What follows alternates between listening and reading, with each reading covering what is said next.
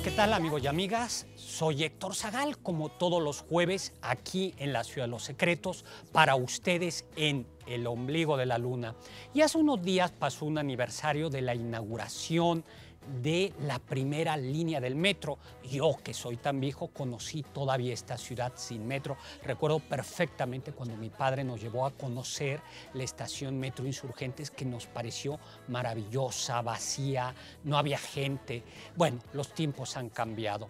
Y estos programas les voy a ir contando historias que tienen que ver con las imágenes que identifican las estaciones del metro. Y aquí les va una prueba. ¿Conocen ustedes la estación Metro Etiopía? Estoy seguro que muchos de ustedes no conocen la historia. Es un león.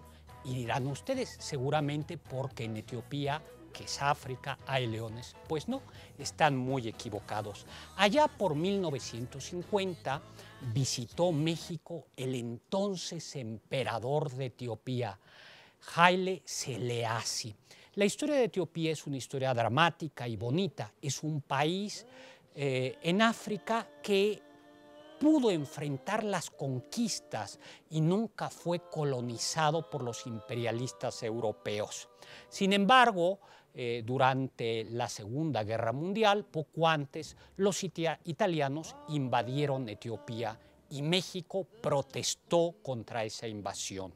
Al final, tras la derrota de Italia, Japón y Alemania en la Segunda Guerra Mundial, Etiopía recuperó su independencia. Fue terrible la guerra de Etiopía porque los italianos bombardearon con armas químicas y mataron población, envenenaron el agua, acabaron con el ganado. Agradecido el emperador de Etiopía porque México había defendido la independencia de ese pequeño país, visitó nuestra ciudad allá por los años 50.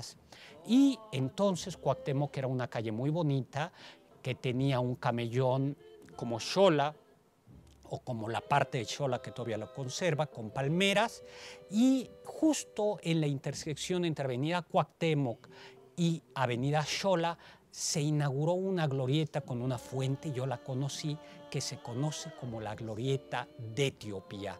Y allí estuvo el emperador de Etiopía. Ahora bien, el emperador de Etiopía eh, es una de las era una de las monarquías más antiguas del mundo y él tenía el título, porque se decía que era descendiente de la reina de Saba y el rey Salomón, tenía un título mesiánico, el gran león de Judá.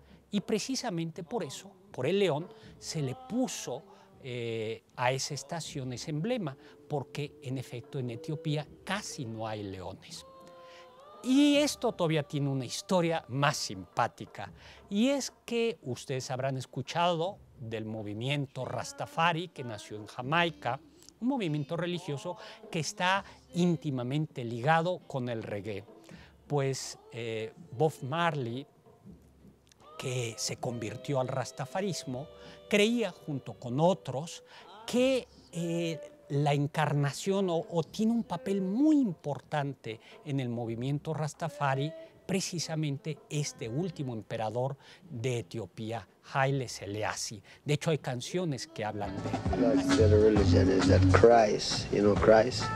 Say would return within 2,000 years. Now we check out the time. This time is 1,979 years gone. Say when I'm return, I'm return a new name. We shall be dreadful and terrible among the heathen. And when him come, shall be the King of kings, the Lord of lords, and the conqueror in the land of the tribe of Judah. In our lifetime, we look out on the earth to see who come with these names. One man we find is Imperial Majesty Haile Selassie the first who is the King of Kings, the Lord and the Conqueror, and of the tribe of Judah. No, the Bible, you know. The Bible is our is our route that we take. The Bible. Why?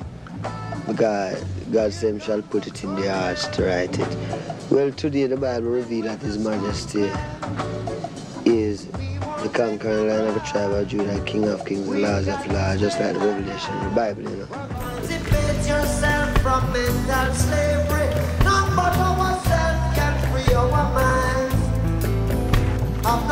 atomic energy Cause none of them can stop the time How long shall they kill our prophets While we stand aside and look Some say it's just a part of it We've got to fulfill the book Así que ya saben ustedes, si quieren algún día rendirle culto o honrar la memoria del último emperador de Etiopía en la estación metro, pueden llevar algo de música reggae y quizá una fotografía de todos estos personajes que participaron en esa identidad de una estación del metro tan simpática como la estación de Etiopía. Soy Héctor Zagal, mi Twitter arroba hzagal, zagal con Z, y recuerden, sapere aude, atrévete a saber. Live if you wanna live, I and I, vibration, yeah.